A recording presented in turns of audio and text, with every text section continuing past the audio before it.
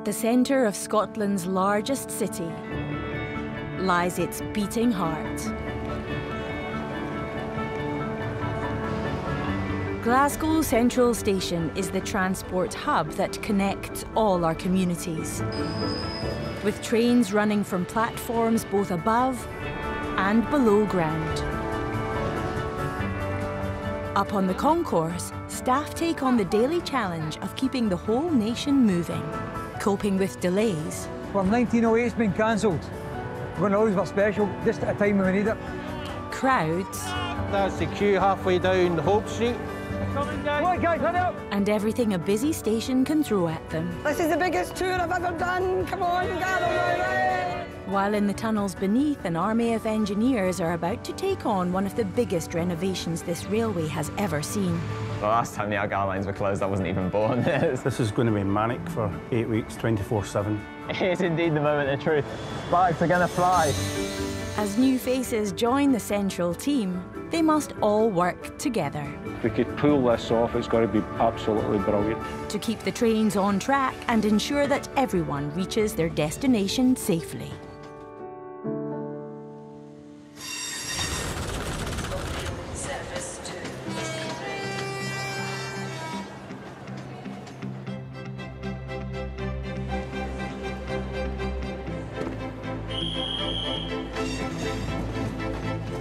Something remarkable is happening at Glasgow Central Station which hasn't been seen for a generation.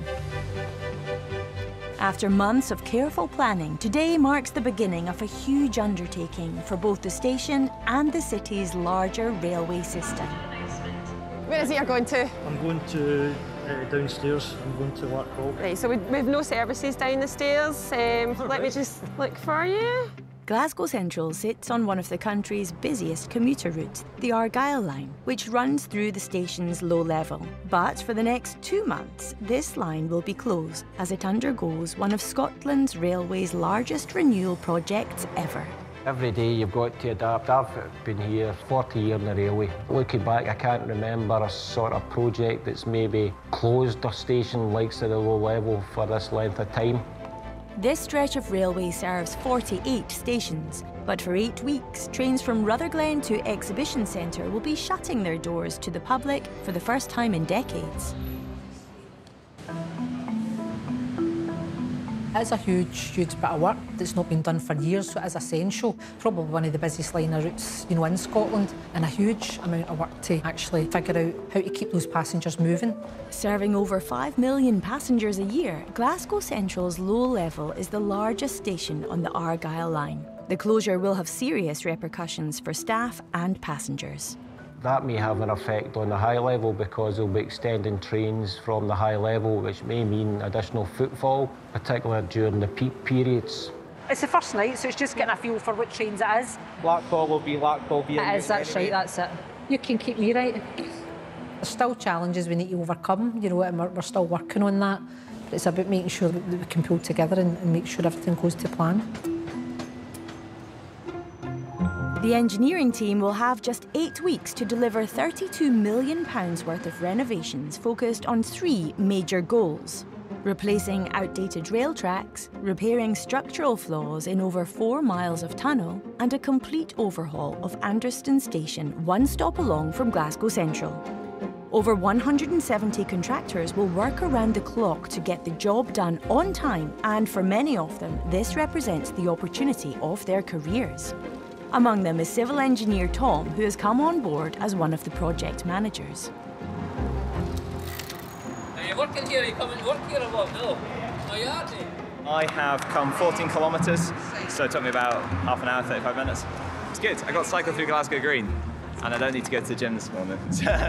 Having risen up through the railway at a young age, Tom is excited to follow in the footsteps of his engineering heroes. I've not got my other bag. See, my non-site bag has a little sticker on it that's Brunel, and it says I'm an engineering giant because Brunel was like five foot five.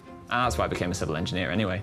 It really is a once-in-a-career opportunity to work in a blockade of this nature and make my mark on the railway.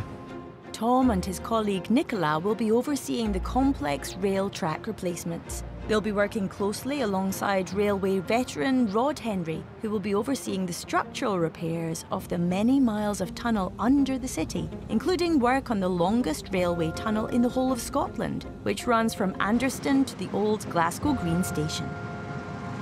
There's a dead rat on the forefoot on this side. Ah, it's like a macabre safari. Tom's meeting with the other team leaders to talk strategy and review the scale of what lies ahead. I think the last time the Argyle lines were closed, I wasn't even born. so, um, no, so, sorry, guys. Pretty embarrassing. My niece has started in my team, and uh, my uncle Rod's been in the railway before I was born, and I thought, hmm, that's maybe not the badge of honour I want. But this has only sort of happened twice in the past sort of 50 years. The Argyle lines are an arterial route through the centre of Scotland and they take, you know, they take all the commuter traffic and to close it is a really big deal, you know, and for eight weeks is, is quite an extensive piece of work. This is going to be manic for eight weeks, 24-7. As the assessment work begins, the team at Glasgow Central brace themselves for the knock-on effects of the low-level closure. Today's the first day of the closure, but it's been a lot of work this morning just to make sure the comms is right, staff all know where they should be positioned and what they're doing. Anything else you need that would make it easier No, for you? definitely these are not. And it should be the same drivers the whole day. I'll be about, I'll go up and see how the trains are and come back out anyway. Serving over 14 million annual commuters, the eight-week closure will leave thousands of passengers in need of alternative travel plans, from replacement bus services to alternative rail travel. You can put all the planning and preparation in, but you're always thinking, have we missed something? No, it's closed. You can just walk to Anderston. No, I'm going down here. Right, you can get the real replacement bus from here. We've got replacement buses that will pick up from Gordon Street outside the station, which is probably doubled in footfall just because of how people are traversing through now to get their trains. We've got staff who have been relocated from the low-level stations and other stations that are closed to the, the key points. And it's low-level veterans Tina and Lorraine who need to get passengers where they need to be. The difference for up here anyway to working down the stairs, you know yourself, you know what it's like. I know. It's different up here. Def- I feel it dif- Oh, I different feel up it as here. well. Hundred percent because down there my sights went because it's so dark. I feel like a mole, Mhm. and up here in the nice bright sunshine. Do you know what I mean? I'm trying not to laugh at you. I'll be quite good. But as the rush hour approaches, one of the bus services has failed to appear. That is, that's one delayed actually. It says this would happen if it got busier, that would get delayed. A replacement bus driver has got lost, and as he finds his way back ahead of peak time, Alison is handling communication issues inside. Guys, the low level's closed. I know, I've seen that as well, people looking that way. I might stick an extra couple of barriers there. That's an issue. People keep trying to get out carriage drives. I think I'm going to need to get another poster made up, possibly, like no exit. Today and the first week's really going to be the key times to educate people on how they get to their individual stations and the journey that they're trying to take. People don't realise how important it is to make sure the message is consistent. Right. Hopefully, a wee bit of direction. Meanwhile, back outside, the team have managed to find their missing bus driver just in time for rush hour. You're nearly away to Wellington Street. No, no, no, no, no, no. If you go up down West George Street to High Street and then down from the High Street there, that'd probably be your quickest way, and then up London Road. Yeah, sounds good. Thank you. With new directions from the team, the buses are now back on schedule. Lovely jubbly, that's us. Yeah. Another two down. I feel as though I don't not actually ScotRail anymore. I feel as though I work on the buses. Like carry on the buses, what was her name? Tina, that might have been before my time. Oh, Do you know what? They're, they're an amazing team down there and how they've just reacted and turned about coming up to the high level to assist taking on board what needs to be done to deliver for customers and passengers. It just makes me really proud of them. As staff at Central deal with the pressures of the closures, the engineering teams have arrived out on the lines. People will ride the train and not necessarily know all the work that goes into maintaining it. Tom's team will need to tackle 19 renewal sites, 10 of which require replacing worn out concrete that sits below the metal track. The can't, and the weight going to that side, you can see why that this this side that's failing as opposed to that side. So Yeah, how are these bolted in? Is there a pad under it, or are they just drilled into the, a the, stitch. oh, the cast? Yeah, Yeah, yeah, yeah, 'cause uh-huh. you can see that one that's come away. yeah, At these points, known as breakout sections, the team need to lift the old track and smash out the concrete beneath before pouring in a stronger mix for the track to sit on top of. The force of the train moving through the rail deteriorates the concrete, and that's why we need to come and replace it. But we'll wait until all of the sites are broken out and then we'll get the concrete um, uh, machines in. We'll need to keep an eye on the weather when we're doing the pour. I think it's five degrees. Five, hopefully it's warm enough. Not only will the teams need to battle the elements to replace the concrete, they'll need to do it without moving the railway an inch. We've got to make sure that the rail is in the same position because it's close to the platform and it's on the slab as well and going through the tunnel. So alignment and geometry is a really important thing to get right. After inspecting the rail foundations, the team head deeper into the tunnel. Do you want to grab a roll first? I'm powered on uh, oats. Well, I had the haggis, black pudding, bacon, sausage and fried onion, well, grilled onion. Oh, you're making me jealous. I made it in the George Foreman in the office. And it's not just breakfast that Tom and Rod are split on. While Tom's attention is on the floor, Rod is more interested in what's above his head, heading up the structural repair teams throughout the Argyle tunnels. The main works will be concentrated on the two miles of underground between Bridgeton and Exhibition Centre. Years ago, um, when they ran steam trains, they encased the steel beams in concrete, and that concrete is aged and is now having to come off. They, they encased it in concrete to stop the, the steam, the embers pitting the steel, so the steam trains um, cause damage to the, the steelwork, so they encased it in concrete. So this is a perfect opportunity now to take the concrete down and prepare the steelwork. Quite a long tunnel, and uh, every beam will need to be looked at 24-7, 60 days. It's not going to be easy. With their assessments complete, the project leaders can instruct the heavy workload to begin. But over the coming weeks and months, they'll need to keep a close eye on the progress to ensure their plans don't veer off course. Back at Central, station manager Drew has a crisis on his hands and has had to phone emergency services. If you are calling about a seal, please press 1. If you are calling about a hedgehog, please press 2. For all other animals, hello, Scottish SPCA, how can I help? Hello, this is Drew Burns, the station manager at Glasgow Central. I've just done a report. I've reported in about a trapped pigeon in one of the units in Argyle Street. Okay, no problem. Okay, because it is a pigeon, so you know me, pigeon man of Central, need to look at it, need to investigate. With the pigeon trapped above a shop under the station, Drew needs to call in the maintenance team to assist. So Greg, the situation is we have a trapped pigeon in one of our retail units in Argyle Street. So we're going to have a look to see what we can do. It's a possibility we might need to cut through the wall to get to this pigeon. Of course, Drew. Anything for you. So you might need a step ladder, Step ladder, torch, gloves, bingo. Pigeon rescue, we're on it. Come on. I'll get my lunch later. Come on. Go and grab it. We are the pigeon savers. In about no more than five minutes. Once Greg gets his gear, we'll make our way around. And off Operation Save the Pigeon starts. As long as you've got the light. I've got, oh, I see the light. All right.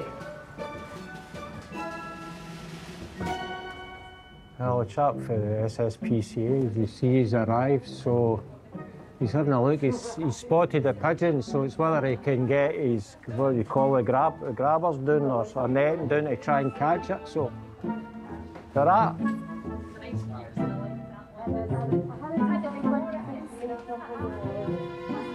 He looks as if he wants to kick me.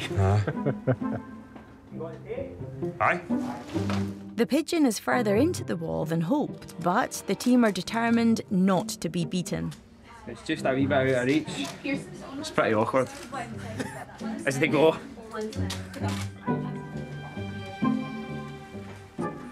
No bother. Did you get any tips, Drew? Pigeon, pigeon whispering tips. Sometimes if you sing a song, See if you sing. What kind of song? Well, it need to be something about Glasgow. Thankfully, before Greg can start his ceremony, the pigeon finally emerges unharmed. You're the man. You are, you're amazing, well done. Let's see if it's a Glasgow, it's a Glasgow Central pigeon. Oh, guys, because it's the way you staying calm, you could tell it's for Glasgow Central. That was some job, well done you. Pull that back and then push it. It's just like grab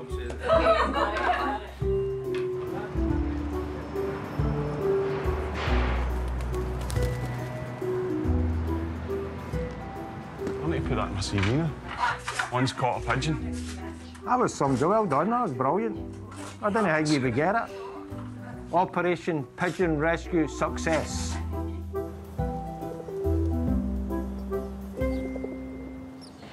With one crisis averted, beyond the station at network control, the team are keeping an eye on a pressure point of their own.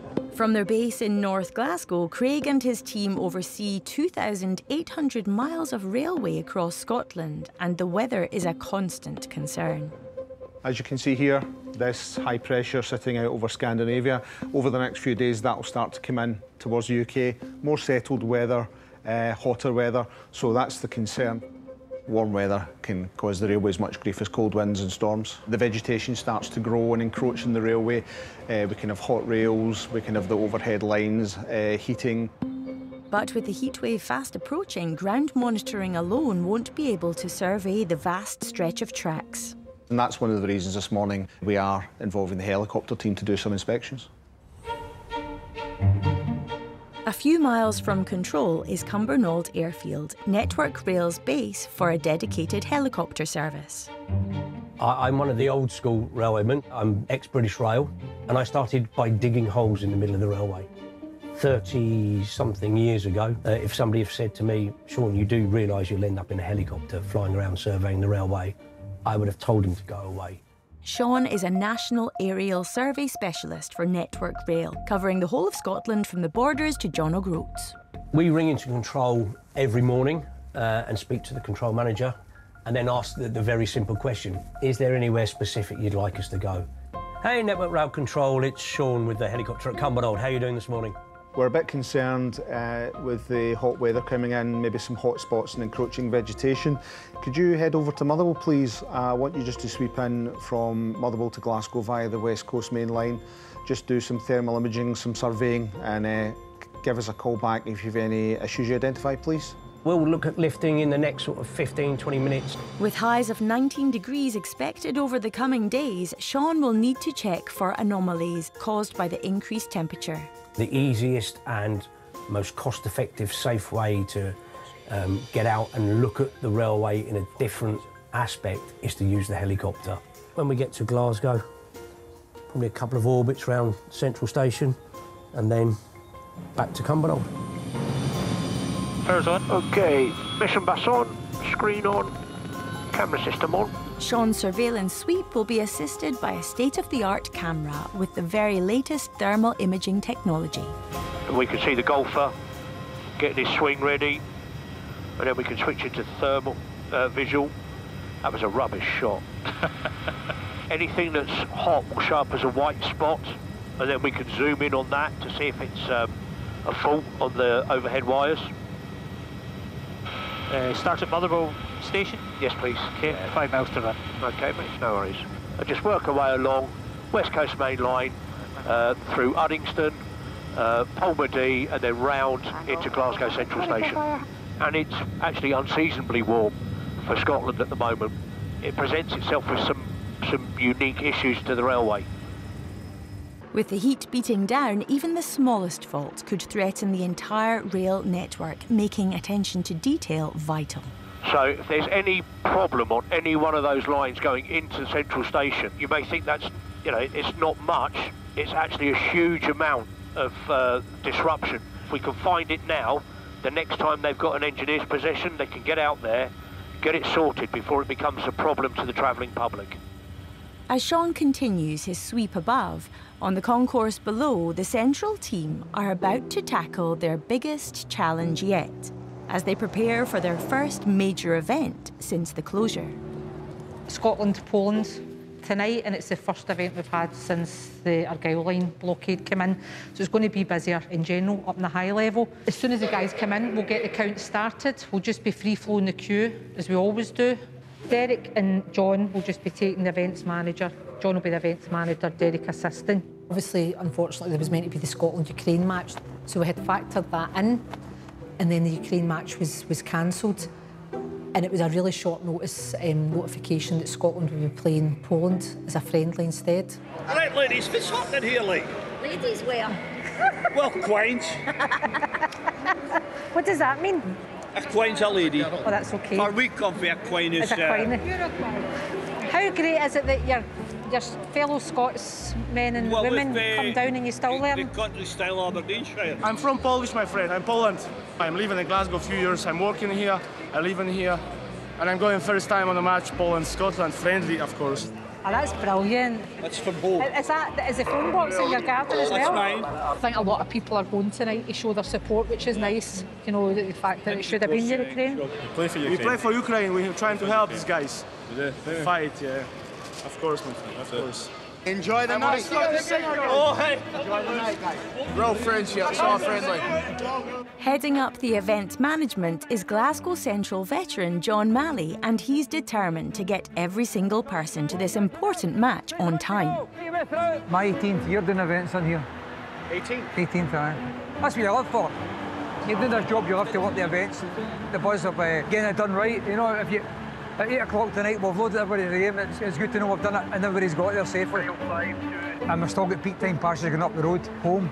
And as you can see, if you look at the queue, we're queuing quite back, quite, quite a wee bit already. What is this line for? The uh, Hampden Park football. Football? Oh, so. So you're not going to the football? We are. Do we have to buy our tickets? Do we have to buy our tickets? For a train? Yeah. Oh, of course, yeah. Station manager Drew is helping manage the building queues. Getting all the fans to the game on time will be no easy task, and things are already starting to heat up.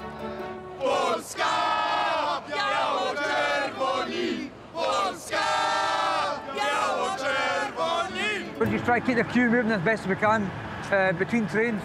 With the game starting in less than two hours, the staff will need to manage fans and rush hour traffic already displaced from the low level, juggling them between trains to get them out of the station.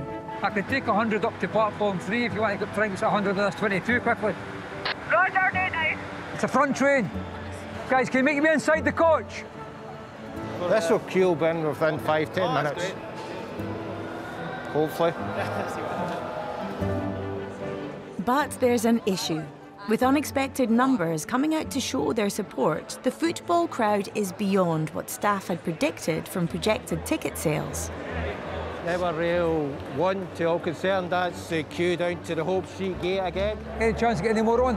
Right, eh? the rear two are quite busy. One's jam packed a normal day, never mind with football on it, mate. Because of the Anderston closure, this is the problem we've got now. Do you know, it's the time of day, so it's, it's evening peak.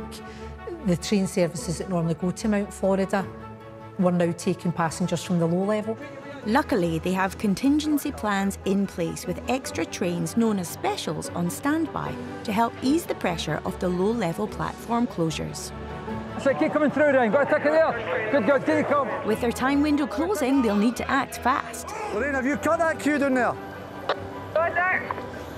Send another 50 up to number, another 50, if number 8 quick as you can, get them on that. 314 cat, I'm here, just give me 150 up, will you? Right, guys, platform three, just have your tickets ready to show going through, OK?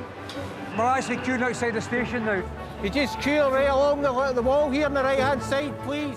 With the queue building and the clock still ticking, now is the perfect time to make use of one of these additional train specials. What, do you want me to start sending some up to the special now if you're up there?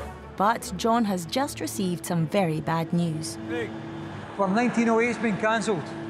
We're going to lose our special just at a time when we need it. That's half the potential before the match starts. We could have been doing that. The team are a driver down, so the special train won't be going anywhere. As the platform staff react to the news, Drew holds the fort outside. Just need to ground other gate, please. Hey, what's the problem? It's too busy. It's just around the corner. It's too busy. Aye. Let's try move in a bit to the right-hand side, please. The team will now need to think fast if they want to get all the fans over to the match on time.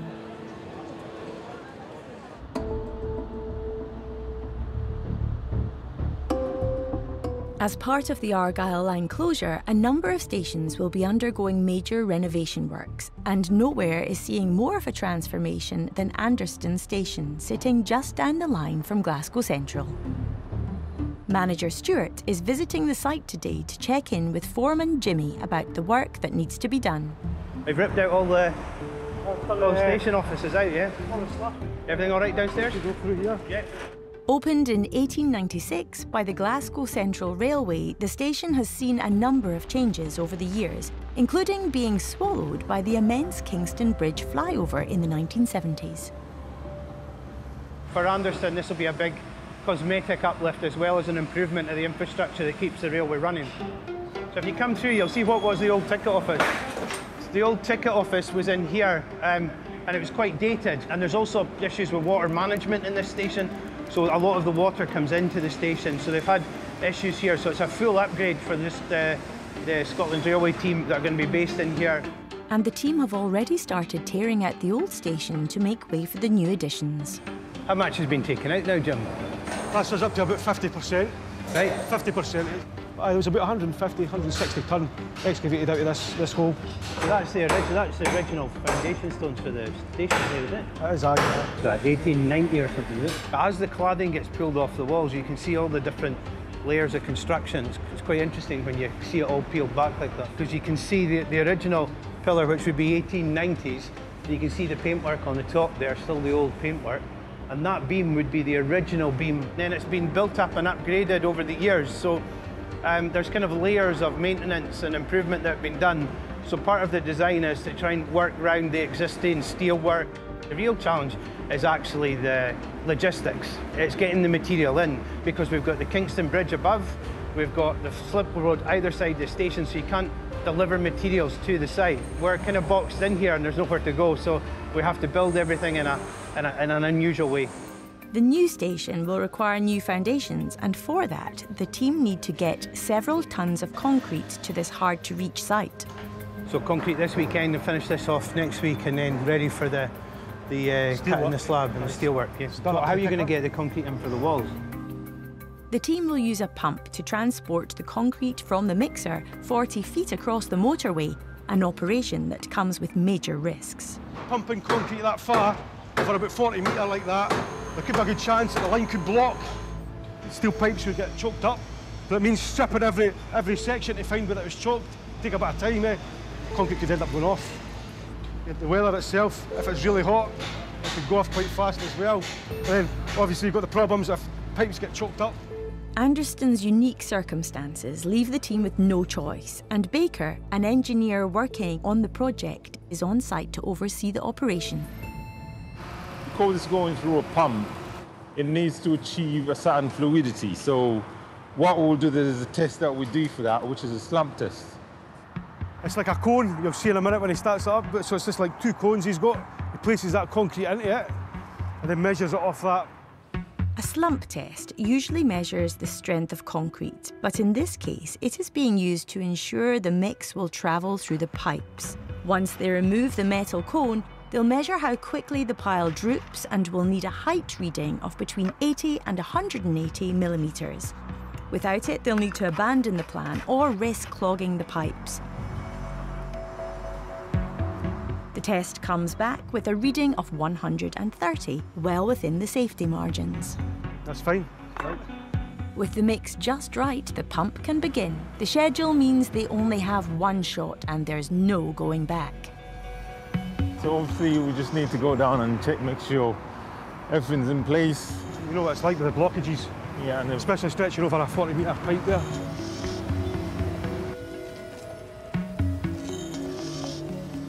And you can hear that sound, you know, that's just the concrete flowing. As you can see, there's no spills, which is always a good sign, because if there's a spill, that means you have a leak. It might be potential to actually cause a blockage. Another big risk with pumping concrete this far is the development of air bubbles, which could lead to irreparable damage, so the team have a special machine to help combat the issue. What you're hearing them is actually trying to do the poking, which is getting all the air bubbles out of the concrete and doing a continuous pour all around.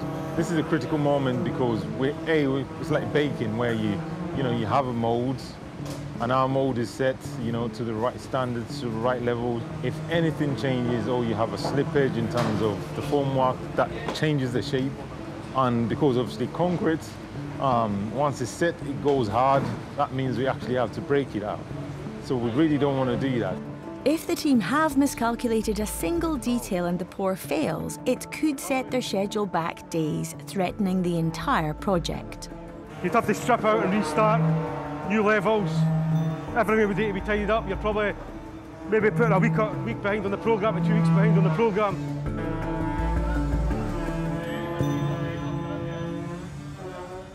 But as the operation continues, Baker can see some light at the end of the tunnel.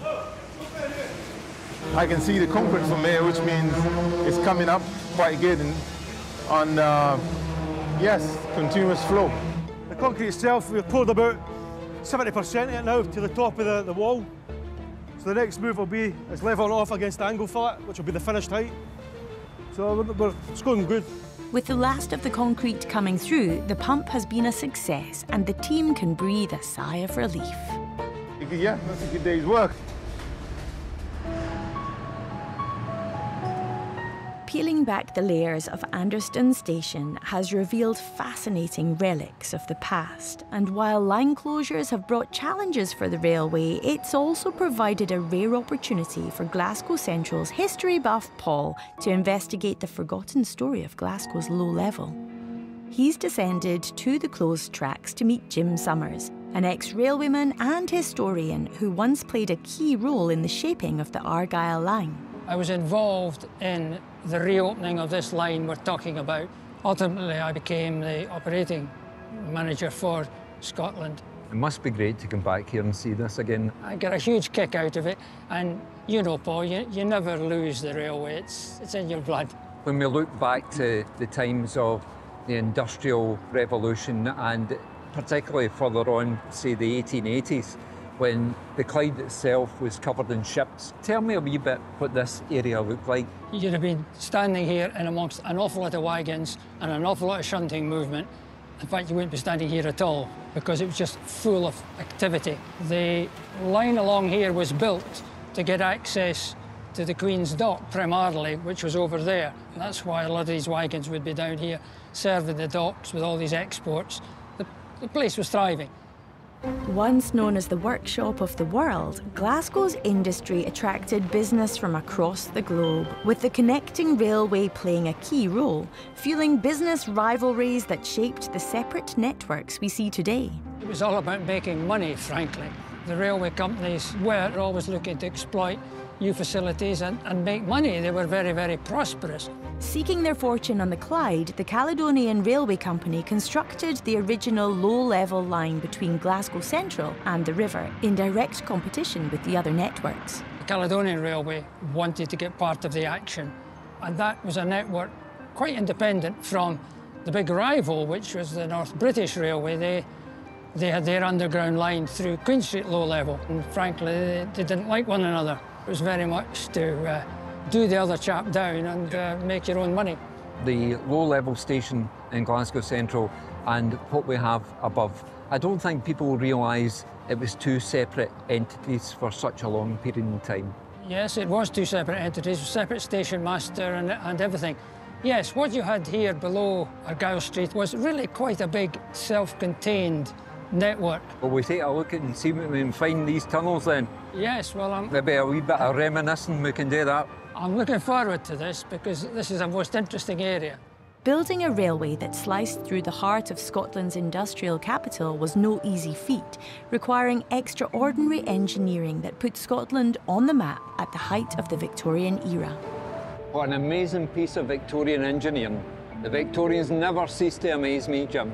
This is a marvel and a tribute to these men in Victorian times that built these wonderful tunnels. Well, it's a very interesting part of the construction because you have two tunnels here converging. Uh-huh. And it aroused a great deal of interest in the engineering world at, at the time. But guys had to work in these tunnels and maintain the track, maintain all this brickwork. Imagine dark, the smoke and all the rest of it. Long days, hard work, and dangerous. What a testament to them, isn't it? That it's still here. Yes, yes, and has lasted pretty well. Yep. I think it's quite easy to imagine the steam engines coming through here and how dense the smoke must have been and the dirt and the smell. You can, you can still smell it down here. Oh, yes. One man who remembers the original low level is Albert Gregg, whose family has worked the railway for generations. The railway has been in the family since 1881. My dad was in the railway, and his dad was in the railway right through the Caledonian days.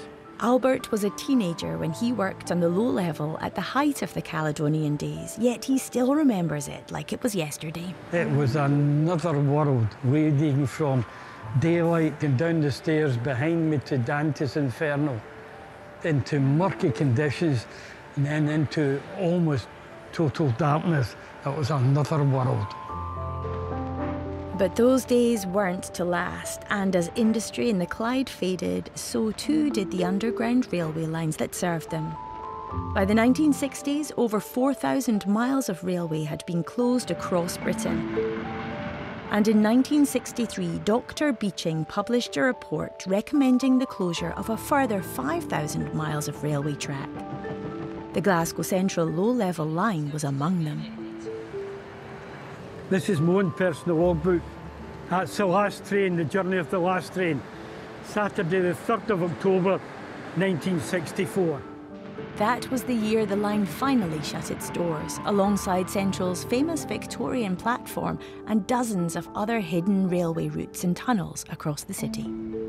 People were moving out of the city, shipyards were finishing, Glasgow was in big transition. But all was not lost for the hidden network of the low level rail tracks. Glasgow had some awareness of all the lines that were being closed and maybe one of these days they would be valuable. Funnily enough, its time came again. People have come back to the city and they're, they're surrounded by office blocks. Things have changed. So 15 years later, it, it reopened. Who would have thought it? In 1979, Glasgow Central Low Level reopened its doors for the people of Glasgow, but despite its return, many other lines and tunnels still lie dormant beneath the city to this very day. Do you think in the future then that if the city expands again, then we can utilise these areas? Oh, yes. There are a number of tunnels all over Glasgow, and they're a huge asset. Let's exploit them. People should stay aware of these possibilities and use them if the moment comes with new developments in different areas. It's a changing situation, and to me, it gives me great pleasure to see this circle turning. The history of Scotland's railway has always captured the imaginations of people passing through Glasgow Central, evident on Paul and Jackie's famous history tours, which are now bigger and busier than ever. Are we good to go? Does anybody have any questions before we start? Right, let's get going. The tours are full. Full. Used to be during the week, there would maybe be a few spaces, but we are full. The team is dealing with high expectations and a backlog of ticket sales from the pandemic. And with the closure of the low level, they've lost access to their star attraction. Already 2022 has been a challenge because we're hit with the tunnel work that closed the Victorian platform. And that's a big hit for us on the tours. It's a really popular part. So Paul and I have been working hard to make sure that our reputation is enhanced, not people walking away thinking, feeling as though they've been cheated. Jackie is determined to find the museum a boost, a new star item to impress the crowds. So I've got my scrounger head on and I'm now scrounging pieces. So um, calling in lots of favours, contacting lots of people to say, do you have a spare bit of this or a spare bit of that? Jackie has recruited head of maintenance Stevie to help find an item with the wow factor, although she doesn't yet know what that item could be. Sometimes I do chance my arm. There is no doubt Stevie will tell you that. I do chance my arm. But Well, my mother always used to say, if you don't ask, you don't get. Their hunt begins just south of Central. Oh, it's cleaner than I expected. Yes, don't be fooled. So was this a signalling centre that covered what? West of Scotland or? Uh-huh. The old Glasgow Central Signalling Tower was once a bustling hub of activity, coordinating hundreds of trains in and out of Central throughout the 80s and 90s, until its final closure in the early 2000s. The abandoned floors are brimming with memories off the railway, and Jackie's determined to find something that stands out. So I think if you're doing a job like that, it's good to have eyes on you. I think so, aye. Look at the views you can see right away. I know. It's a, it's a lovely day. That's the ladies. I'll pass. ah, this is the bit that I've seen. At the top of the tower lies a signalling desk. This was once the beating heart of Glasgow's railway network, and Jackie might just be in love. Oh my goodness. So these are like, see the, see the big board that I've got in the museum? That's like a bigger version of that? Well, you get a model rail set, that one you've got. No, it's no. it comes, it's real. Nobody's getting to see it up here. Taking it to, the, or some of it to the museum would be wonderful because it would open it up to the public and let other people see it. Because on the tour we don't do a lot about the technical side and the rail track and all the rest of it. But we don't cover any of that. I might need to go to signalling classes. Uh-huh. So you can talk the talk. Uh-huh. Right, yeah. Very funny. Aye. No, you I can't just start going, yes, well, 1973. No, you don't know what you're talking about. Given the gargantuan size of the signalling desk, Stevie is keen to steer Jackie's interest towards other potential items. You could take a photo of that and see if that's of any interest. That's an old vending machine. I take it there's no cans left in it. Well, we took them out. See if you just keep looking, just sometimes you pick up a wee gem. A couple of wardrobes if you're wanting a wardrobe. A wardrobe? Somebody's betting slip. I wonder if they would pay out in that in case it's a winner. But in the end, despite ransacking the building top to bottom, there's really only one item that Jackie has eyes for. Take a couple of pictures of this to see. I need to know what's covered by the Railway Heritage. Much to Stevie's growing apprehension.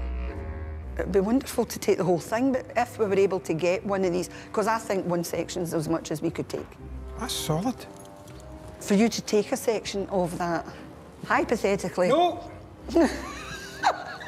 Let me finish!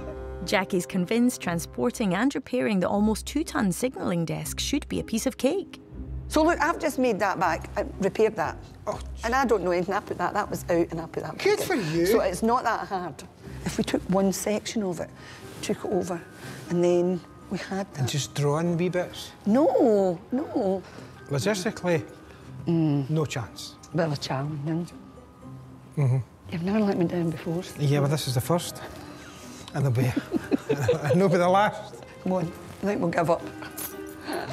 But despite her best efforts, Stevie is pretty set in his final answer. Not happening. It's a definite Possible. no. It's, it's always a definite no. I'm just, Everything's I'm always just a definite shooting no. the breeze. Everything's always a definite no until I'm just killing time. we, we get to the point where Stevie actually doesn't like to get beaten either. On this occasion, I don't mind.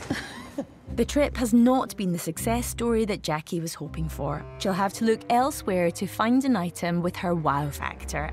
And as she continues her search, staff on the concourse are still dealing with the increased passenger numbers from the low level closure. And shift supervisor Alison has an unexpected arrival. We got a call from um, one of the ScotRail staff to say that a Ukrainian family were on our Stranraer arrival. But I think this is the first time we've had this. We've been prepared for it. Since the war in Ukraine began, staff at Central have been making preparations for a possible influx of refugees through the station, and this family is their first arrival. The Ukrainian family are passing through Glasgow Central on their way to London, and it's up to Alison to make sure they make their connection safely. Eh, London, they've got, I think they've got people there. We're literally just Google Translate because nobody's getting any Ukrainian or English. so Mandarin's not good either. no, no. I'll let you up here there. Yeah, yeah, yeah. I'll take them along. Yeah. When's it? I think it's in the night. During five minutes.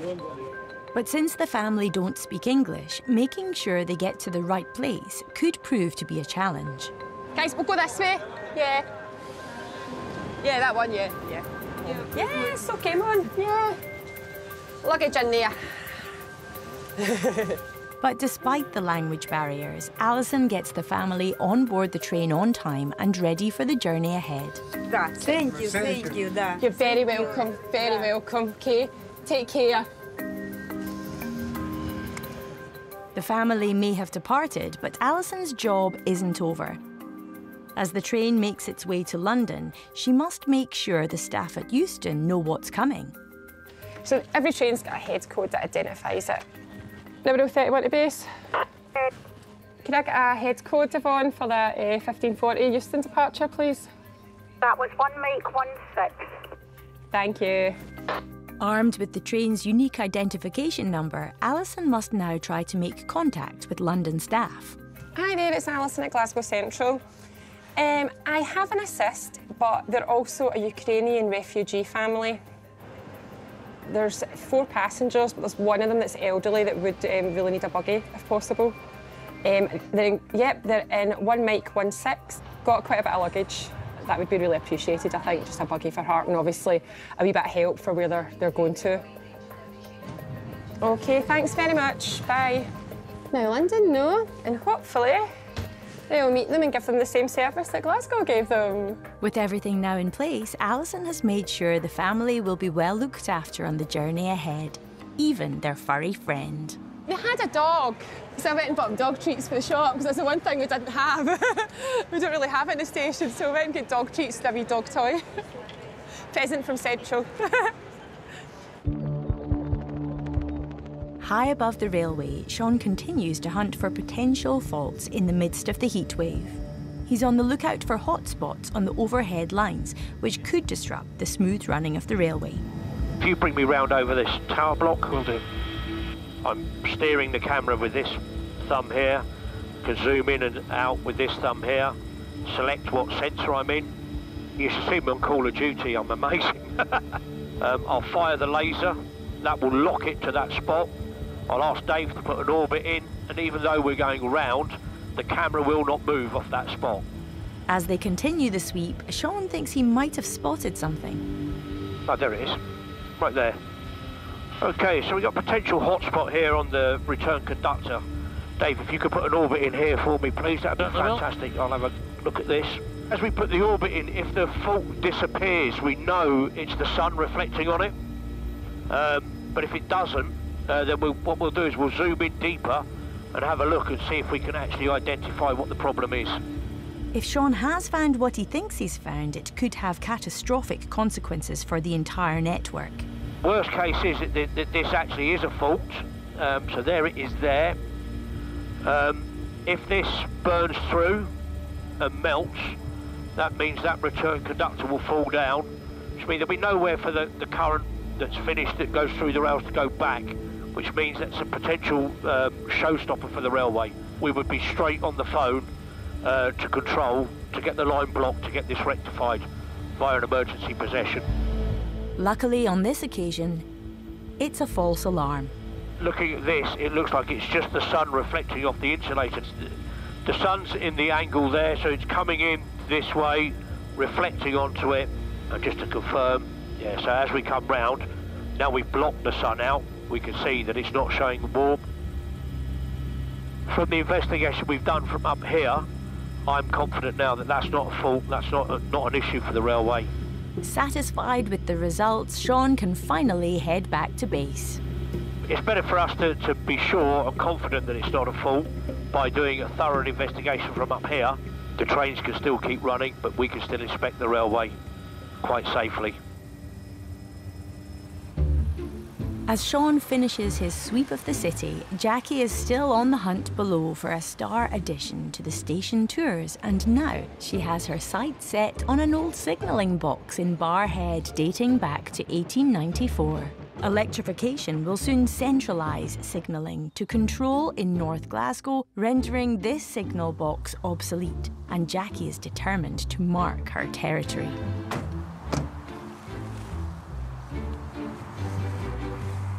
So the plan is that we take everything from Barrhead signal box because it'll all be obsolete because the, the line's being electrified. And we take that and we bring it and put it in to create our very own signal box.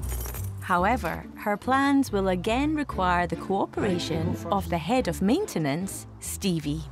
Right. I'm thinking maybe I just a quick lift and shift and make these things sound so easy. I'm practicing for speaking to Stevie. Look at this. How good is that?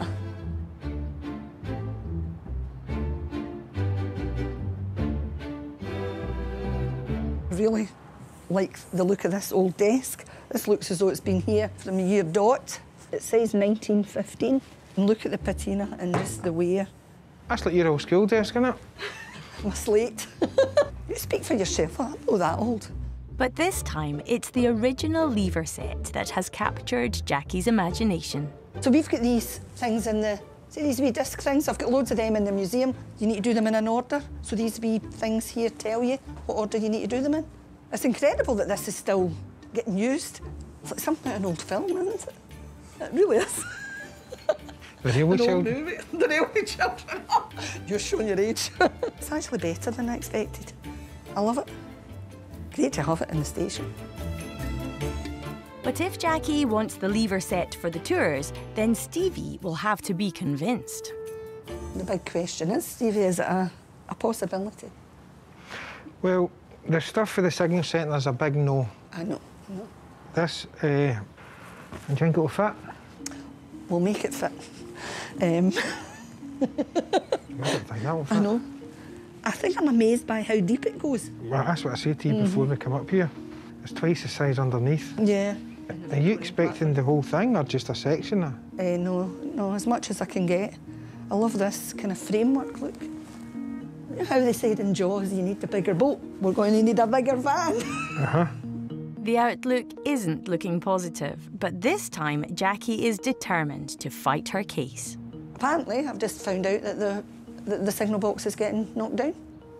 Is it, aye? The whole build, this, this old building is getting knocked down, which is heartbreaking. I mean, this is part of history, so we need to make sure that we're keeping it for the future. Everything that's here, I really would look to take as much of what's here as possible. Is it? It could be doable. Certainly, yeah, we'll get a good, give it a good go. Yeah. I knew you would come round to the, my way of thinking. I can see this. I can see me standing with a So I. Jones cap Aye, on, aye, aye. pulling these levers. You make an old woman very happy doing that. For A me. minute ago, you weren't that old. I knew I could persuade him to do it. I knew I could persuade him. It'll look great. It'll look a big, great addition. Just always likes to say no and then dangles the carrot and then and then! And it makes him look really good as well because he says, "Oh, this is a really hard job. Don't know if we can manage it." And then he does it and does it all the time. So I think it's a plan that he has. Jackie has secured the new addition to the tours that she's been needing, all thanks to the help of the maintenance team. I think they quite enjoy doing all the stuff for the museum. I keep telling myself every time.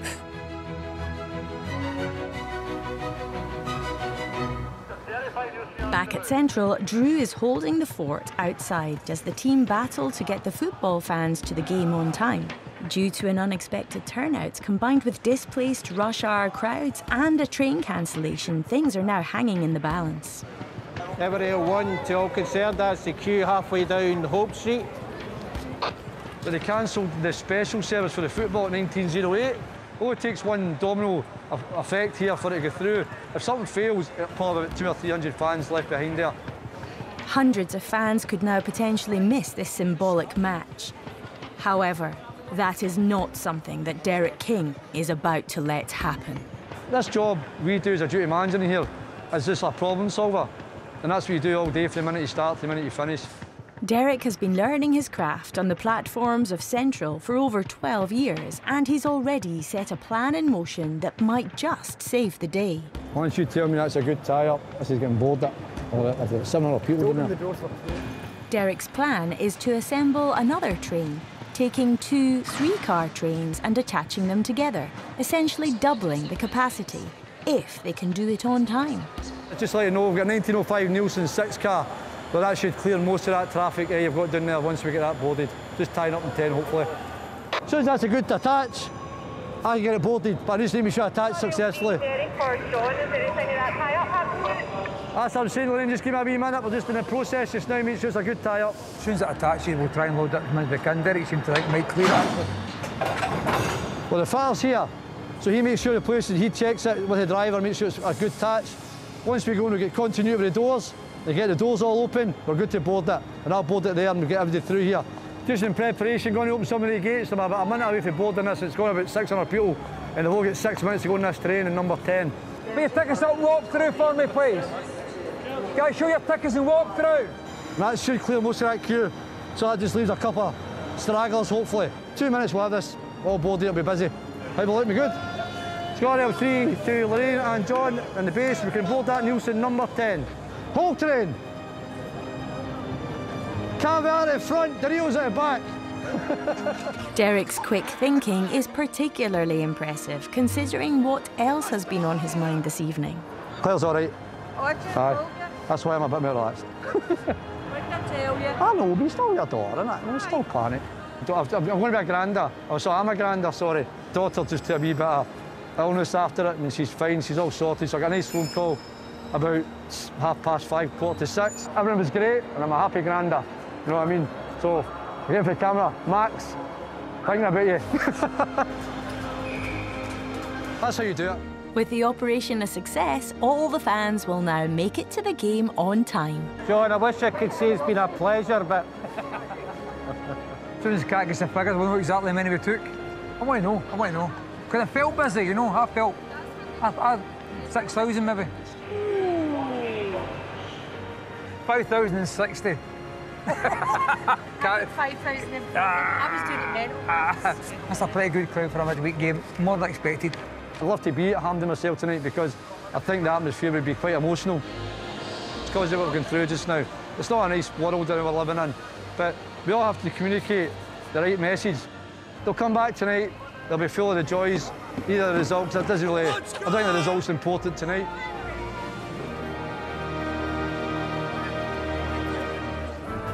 Next time on Inside Central Station.